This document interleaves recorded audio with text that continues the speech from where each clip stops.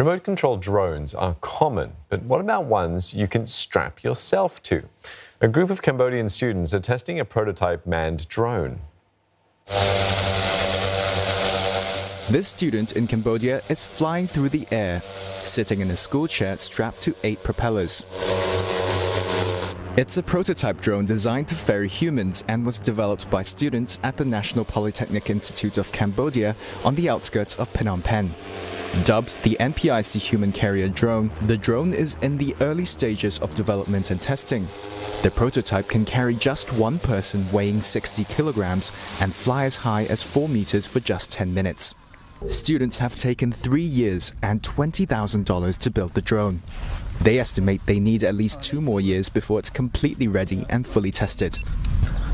21 year old Lon Van Sith was the pilot. He says he was inspired at first by a desire to beat his city's notorious traffic. នៅទីក្រុងភ្នំពេញយើងមានការស្ទះចរាចរណ៍ដែរបាទអញ្ចឹង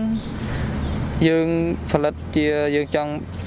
Research មាន research ឥឡូវហ្នឹងយើងអត់ទាន់ផលិតទេយើង research អំពីអាកម្រងហ្នឹងយើងចង់បណ្ដោះគំនិតថាយើងចង់ដោះស្រាយកន្លែងហ្នឹងដោយយើងប្រើជាប្រភេទជាដ្រូនតាក់ស៊ីអញ្ចឹងទៅបាទហើយមួយទៀតឧបមាថាបញ្ហាអគិភ័យឆេះអគិគោះពោះអញ្ចឹងទៅអញ្ចឹងយើងឡានទឹកយើងអត់ចង់ថាយើងអាចទៅបាញ់ពោះពោះបានទេ